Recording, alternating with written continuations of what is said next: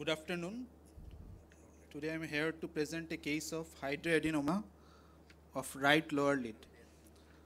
So my patient is a 50 year old woman presented to our institute with an enlarging painless nodular mass in the right lower lid that began 6 months prior with rapid increase in size over the last 3 months. The mass became significantly prominent over the last 1 month. Physical examination revealed a solitary mass in the middle third of the right lower lid, overhanging the lid margin that was of size 30 into 30 into 20 mm. The mass was underlying the right lower lid skin, extending, extending beyond the lash line without invading the palpebral conjunctiva. It was firm to hard in consistency and tender to touch, and did not appear to extend deeper underlying tissues. There were no regional lymphadenopathies. The uh, other ocular and general physical examination were normal.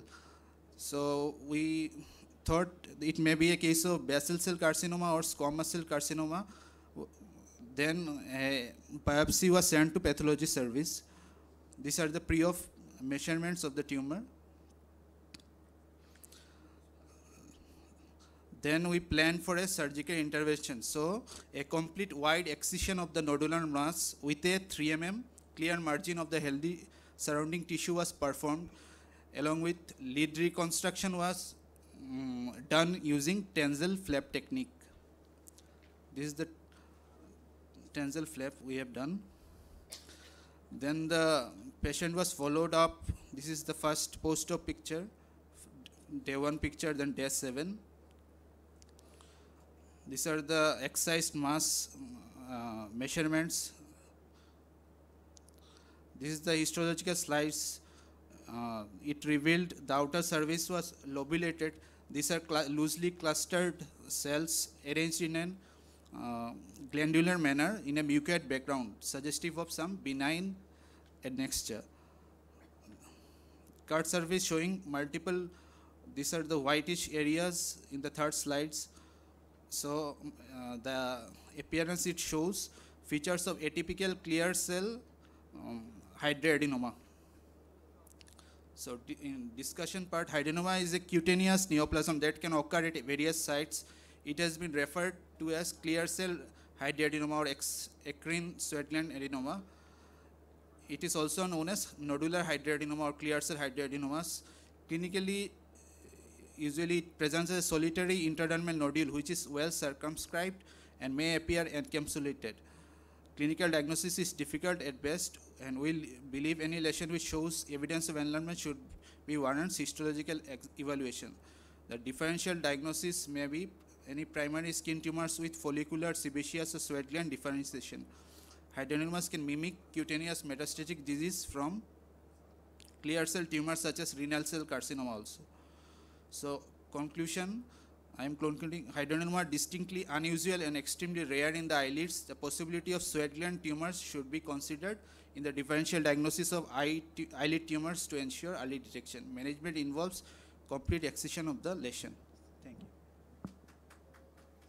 It was a good presentation. Uh, did you suspected malignancy beforehand? Yeah. Before going for surgery? Yeah, yeah. Initially, I uh, we are sus- uh, suspecting malignancy because due to the rapid growth of the tumor since uh, the prior uh, six months, in last three months, it was growing rapidly. So initially, we are suspecting it to be a malignant tumor. Which? We thought either um, basal cell carcinoma or sebaceous cell carcinoma. You've taken uh, proper care for the margins, taken extra margin? yeah, we have removal? taken 3 mm clear margins. How much was the uh, width of the lid was involved? Uh, it was middle third, middle third. No, it appeared almost 50%. And the, the it appears to be 50% of the lid was Yeah, yeah, 50 percent, 50 percent. and Less than one third the Tenzel flap is done. It appears to be cheek rotation flap. No, sir, cheek- quite height, almost it gone up to the uh, no, auricular uh, area. Yeah, it was extended till, uh, but not up to tragus. It we uh, little bit. Um, Because you have done a wide excision. Yeah, yeah, we have uh, done a wide it appears excision. that it was a cheek rotation, not Tenzel flap. so we uh, done lateral canthotomy.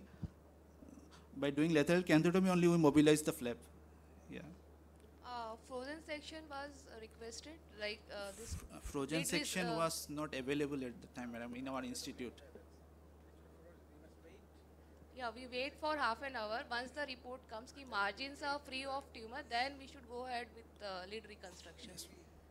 So I think it's, uh, it should be available in all the hospitals.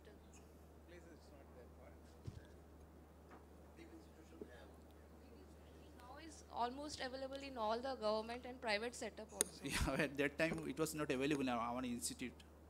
Because if margins are not free of tumor, then chances of recurrence is very high. Yeah, You can, you can repair the next day or two days later once the pathologist gives the report. That way it's better because if the margins come positive, then you're not going to open it again. All, all the Actually, they put a cell phone tape, wait for two days till our results come. In foreign countries, within half an hour, they'll get the frozen section result and they will do the resection for Okay. basal zone millimeter like that. Everywhere it is half an hour you get the report, the pathology report. You have to just do, it's, it's always better to, yeah, you inform, give a prior uh, information and then you can do a frozen section uh, Yeah. guide. So actually, how we do it is that we also don't have a big setup and we don't have a frozen section in our hospital, but we have a tie-up. So we inform the pathologist, send the specimen, and he gives the report on phone, and we carry on with the surgery. So this can be done actually. thank you.